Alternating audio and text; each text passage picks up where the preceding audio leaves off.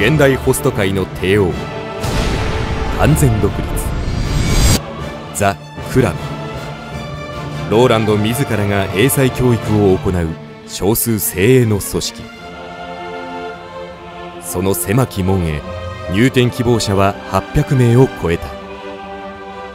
人生を変えたい男たちは夢だけを握りしめ集結した。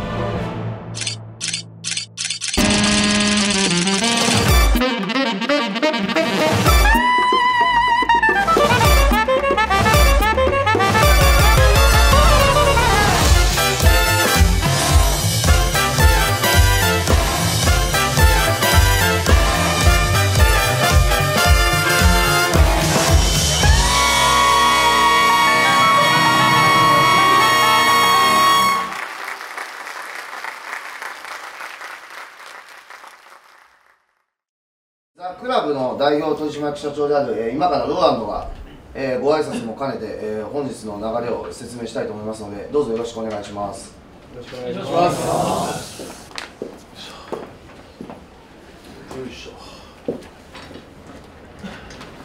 よろしくお願いします。あ、緊張してるみんな。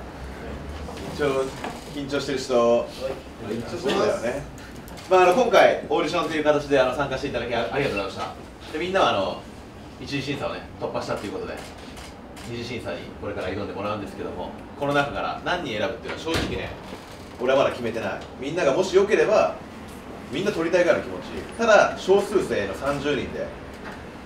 まあ、この店やっていこうかなっていう中でもちろんね今日来てくれたけど合格しないで帰ることになる人もいるんだけどもただそこはねやっぱり実力の世界なんで隣にいる男たちがライバルです隣見てこいつに負けねえなってそんな気持ちで今日オーディション挑んでくれたら嬉しいなと。でそして今日のねこのオーディション全国からその約ね800件ぐらいの応募があって最後に生き残る数名徹底的にスターに仕上げようかなと。次世代の歌舞伎町の顔はもう君たち選ばれたザ・クラブの初代メンバーだっていうところをねあの念頭に置いて次世代のスター歌舞伎町の顔になれるぐらいの気持ちで今日挑んでください・オーディション。二次試験。開幕。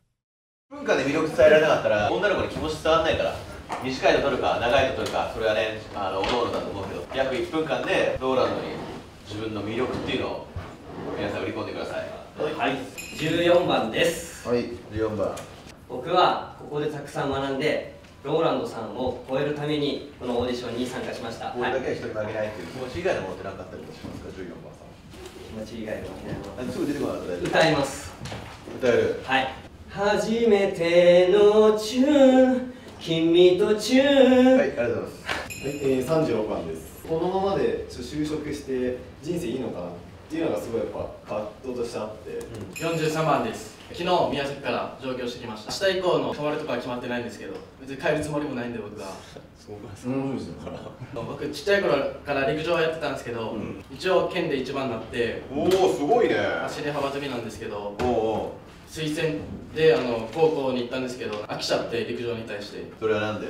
一緒にやるメンバーたちの意識が低すぎて環境って大事じゃないですか、うん。やっぱそういう環境の中でなんか陸上やってるのが嫌だったんで。ぬるい環境が嫌なんだ、はい。厳しい環境がいい。はい。ザ・クラブはすごく厳しい店舗になると思うし好き嫌いで怒ることはないけど仕事に対してできなかったらすごく怒ると思うけどでもそれぐらいの環境の方がいいってことなんだ、はい。51番。最高でその今までのキャリアでどれぐらい言ったことがあります？400番ぐらいです。60番です。日本一のなり方日本一のホストにしか教えられないって言ったんですけど私はその日本一のホストに見合う努力をできると思っていて。と2番、えーホスト未経験、えー今回のオーディションのために僕は福岡からヒッチハイクでここまで来ました。本物の近くで若い時は学びたいと思いました。はじめまして、42番です。で、秋田から今日来ました。第50話です。24歳でホスト経験は2年あります。女の子と喋るの好き。大好きです。31番、はい。えー年齢32歳です、はい。少しものまねだけやっても大はい。丈夫すいません。おいのび太野球しようぜ。45番ですホスト未経験なんですけど、はい。未経験だからこそローランドさんに一から学んで男になりたいと思います。えー、40番、二十歳、えっと、僕の誕生日が、ああれ？今あのレストランで飯食ったあ、子そうっすね、ちょっとお久しぶりです。あ久しぶりだね。あれ？気になってきちゃいました。えっと、平成11年の1月11日が誕生日なんですけど、まあ、全部一なるっていうことで、まあ、ホストはナンバーが仕事なんで、まあ、ナンバーワンになるために生まれて なるほどね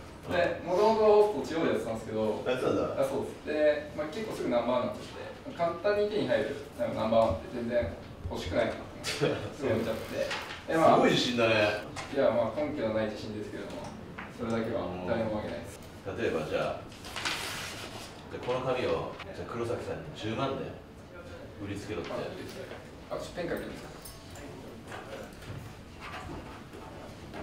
これ10番です。僕のサイン書いてあるんで。何番だっけ？えー、40番です。40です。47番男として無駄に自信があってぶっ飛んでる人間になりたいなと思って。えー、55番21歳です。人一倍努力してこのお店で歌舞伎町ナンバー目指して頑張りますのでよろしくお願いします。えー、33番、えー、23歳です。根性だけは誰にも負けないのでよろしくお願いします。30番23歳ホスト未経験です。もともとちょっと一部上場企業の方であの勤めさせていただいてたんですけど先月ちょっと退社しましてあのこのオーディションに37番22歳です学生今やってるんですけどホストと学生を両立しながら1年前ぐらいに始めてで次の月ぐらいに結構いい大学行ってんだね。前者がガリレオだったんじゃないかなと思って。学生で年間1億売ったら面白いなと思って、年間1億には年間1億売った人にしか分からないと思うんで今回応募しました。普段生きててそのなんかインテリエピソードみたいなのがインテレ数学を専攻してるんですけど数学は身に溢れててなんかサークルの100人ぐらいの旅行行った時に幹事の人が男と女が何人か数えるの忘れてて集めた金額は分かってたんでいや現実方程式使ってあの人数を割り出したみたいなのがあります。なるほどね。面白いね。48番サラリーマンとかっていっぱいいてなんか僕がやるのはもったいないなと思って僕ができることをやりたいなと思って今回ポストに応募しました。わかりました。19番の、えー、19歳、えー山口県から来ました。41番大分から来ました年齢は X で数年前まですごく自堕落な生活を送っていてあの学校にもろくに行けない状態だったんで病院にも通ってたりしてたんですけどその時にローランドさんの動画に出会って僕は自分自身で変われました。人生を変えるなら絶対にこの人のところじゃないといけないと思ったから今回応募させていただきました。えー、59番年齢は非公開です。あのお酒が一切飲めないんですよ。本当に一切一滴も飲めなくて。でただあのホスト経験がまああって、まあ、この時に、まあ、完全にノンアルコールで1000万円を売り上げたという。あ1000万売ったんだ？まあ売ったんですけどそこでもうちょっとホストはいいかなと思って一回やめて、まあ、別の道に、まあ、ファッションだったりいろいろあのやりたいことがたくさんあったので行こうと思ったんですけどまあノンアルコールで6000万売り上げてるローランドさんを見てこれは記録を塗り替えたいなと思って。俺の記録はい。ノンアルコールで。おお言うね。どっから血は入ってたりとかするの？あ僕あのスウェーデンのクォーターで。あクォーターなんだ。はい。えー、29番人を魅了する能力が必要不可欠だなと思って今回応募させていただきました。17番22歳です、えっと、自分サッカーをもともとやっててブラジルの方に留学してたんですけど。あブラジル？サンパウロの方に留学しててあの州とかなんか月とかで優秀選手とか出されるんですけどブラジルそれでまあ何回か選ばれたりぐらい本気でやっててすごいね。サッカー選手。これどこだったの？私フォワードですもう目立ちたがりや。めちゃめちゃ目立ちたがりです負けず嫌い。負けず嫌い。ですで普通にサッカー選手目指したんですけど怪我しちゃって。で、まあ、サッカー選手厳しいなってなった時にその日本でリハビリしてる時にどうしようかなって言って、まあ、YouTube とかいろいろ見たりとかしててそしたらローラさんが出てきてサッカーでダメになっちゃったけどその有名になってサッカー選手になってる姿とか見てなんか羨ましいな。うん一回ちょっとなんかフリーキックのフォームとかやってみやっていいですか。PK キックじゃなかった PK キックはやってたけど PK キックじゃないですじゃあ PK キックちょっとは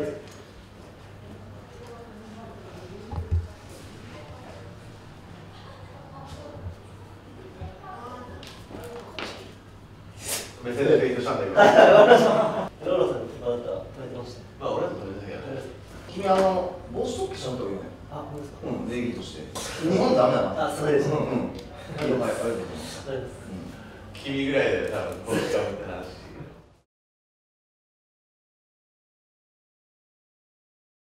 気になる子いいました？俺結意構外そうですねはい。まず気になったのが、え。めっちゃ生意気だったあのナンバーワンになるとか言われてきた。ああいましたね。あいつ面白いですね。サインして。10万円で売るって10万円面白かったですね。発想が。おバカな子なのかなと思ったら意外と頭の回転早いんで。あれレストランで声かけた子ですよね。あれレストランでちょっとかっこいいなと思って飯食ってよかったら今度オーディションやるからっていう話をして。あとはあの高学歴の子。ああ例に東電式に使った子、え。あれどう思います？賢そうでしたね。インテリでいいと思いますよ素直だったらぜひ雇いたいぐらいの子なんでそうですね。やっぱりあの賢いと思うんで理解力もあると思うんで。ありじゃありですかね？まあまあまあ面白かったです。ねい。いと思います。はい。合格レーしてますよ、えあとなんか気になる人いた回とかそうですね。えーっと59番でしたっけ？あのスウェーデンのあスウェーデンそうだね。クォーターのおこうすごいスタイル。かっこいいね、次あの最終です。度胸試しで歌のグループに入れちゃってもいいな。なんか結構シャイそうだから人前で歌って結構ハードル高いじゃん、まあそうですね。だからあれ多分トーク面白くないと思うけど度胸があるんだったら、雇ってもいいと思うのね、まあちょっと採用の前提でそこで度胸を見てって感じ。黒崎さん逆になんかいました？俺あの PK の子サンパウロのあの帽子とんねあ生意気なやつ。生意気なやつ。どう思いましたあれ？あれはちょっとあの荒削り感はあるんですけどいいと思いますね。顔かっこよかわいかったですね。ですよねサンパウロで MVP とか最優秀選手すごいすごいですか？ただだからそういうやつって意外とプライド高いんでしかもフォワードじゃないですか、ええ自虐もいけるタイプだったら伸びるなってところはすごい感じるんで、はい。接客の試験させてどんな接客するのかなっていうのはまあ見たいですけど、まあ、PK のくだり面白かった面白かったですね。はい伸びしろあるなって、はい。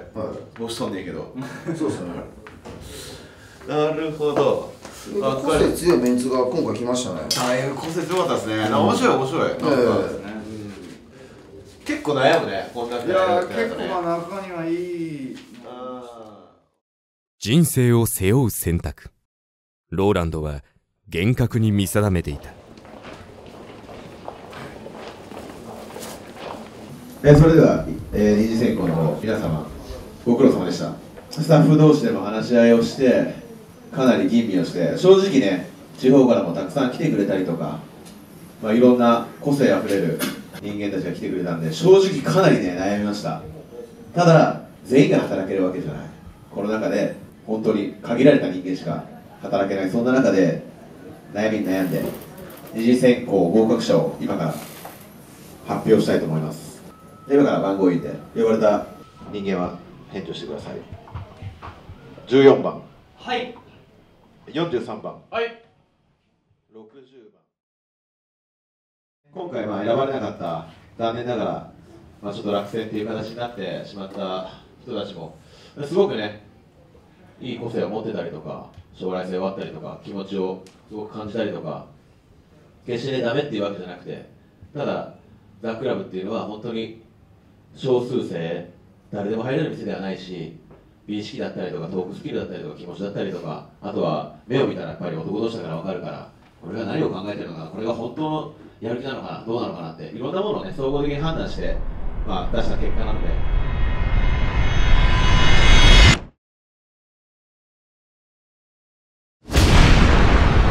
果たして合格者は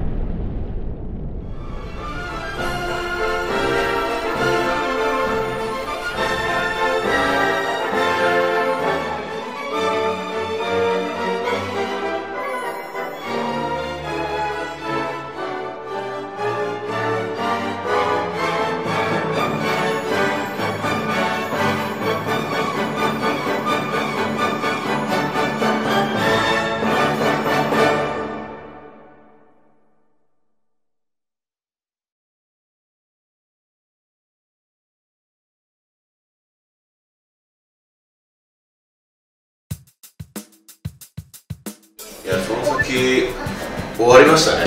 終わりましたね。なんかはい。最後のあの、はい、いやーやっぱ綺麗やわ。相変わらず綺麗やな。相変わらず綺麗やなっていう。今後ちょ目標とかってなんかあったりもしますか？目標ですか？将来的な目標は。美しく。ビジュアルでやっていきたいんだ。ビジュアルも大事やなと。